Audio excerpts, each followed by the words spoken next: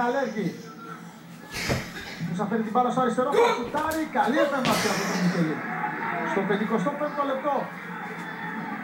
Τα χειροκροτήματα τόσο για τον Καλέργη όσο και για τον τερματοφύλακα της ομάδας των Μεγάρων.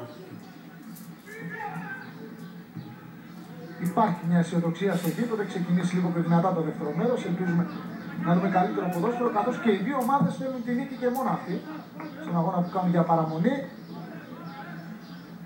Όχι μόνο για τον τρίποντο που θα πάρουν, αλλά και για το πλεονέκτημα η μία έναντι της άλλης. Θωμόπουλος. Κοπή από τον Βλάχο.